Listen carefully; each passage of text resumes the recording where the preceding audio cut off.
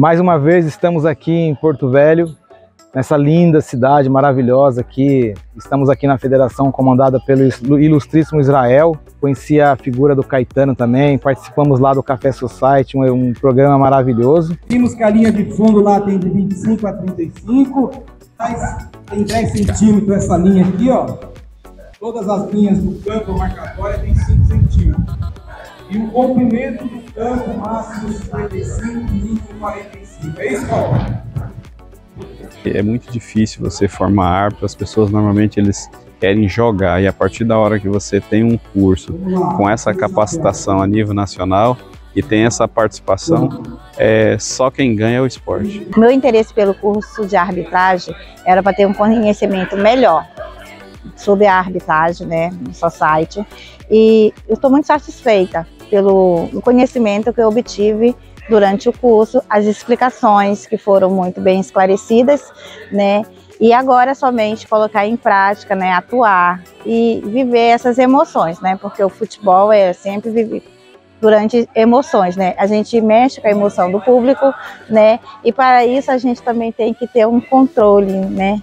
A si próprio, ter o autocontrole, domínio, né? Para termos um equilíbrio entre o público e os arbitrantes e os jogadores. Fazendo uma avaliação aqui do curso, assim é de suma importância, muito bom essa questão é, de formar árbitros. Nós temos árbitros aqui de diversos municípios do estado de Rondônia, pessoal também aqui da capital. Nós tivemos aqui um, praticamente 60 árbitros e desses 60, 30 são novatos. Isso é uma, vai ter uma renovação muito boa no estado de Rondônia e isso é muito gratificante. Formando novos oficiais de arbitragem para atuar na federação local aqui, para mudar o quadro, é, é, é, é, mesclar com o pessoal mais, mais velho, com o pessoal mais novo. Tivemos aí aulas maravilhosas na sexta-feira. Regras internacionais. Nacionais e internacionais. Nacionais e internacionais dessa modalidade na qual a Federação de Rondônia é filiada. Então, que isso fique bem claro para que vocês não cometam é, nenhum equívoco na hora da interpretação da regra. No sábado, contamos aí com o professor Edivaldo. No sábado à noite, Divino Caetano também nos brindou lá com a linda palestra lá. Primeiramente, agradecer a Deus por mais esse evento e agradecer a vocês por, por acreditar no trabalho da gente e agradecer à Confederação Brasileira na pessoa do presidente Humberto Tadeu, do diretor Marcelo San Giovanni, do vice-presidente Laurinho, agradecer ao governo do estado de Rondônia através da Seja Céu, através do nosso amigo Júnior Alves, e desejamos um ótimo curso a todos. Gratidão a Deus pela oportunidade de estar aqui, gratidão a Deus por eu poder contemplar tudo isso que eu tenho vivido, contemplar momentos como esse uma quantidade de pessoas como capacitando e em busca daquilo que meu pai sempre sonhou, né?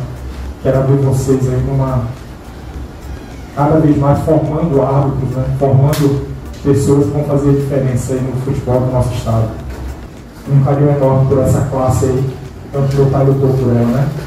E agradecer a vida do, do Israel por estar realmente levantando essa bandeira, do Paulo Pereira, que está fazendo um trabalho excelente também né, do nosso professor, vai estar nos honrando aqui, professor Lauro, com curso. Então, gente, só agradecer mesmo pela nossa oportunidade e por a gente estar aqui junto nesse dia. Deus abençoe a todos vocês.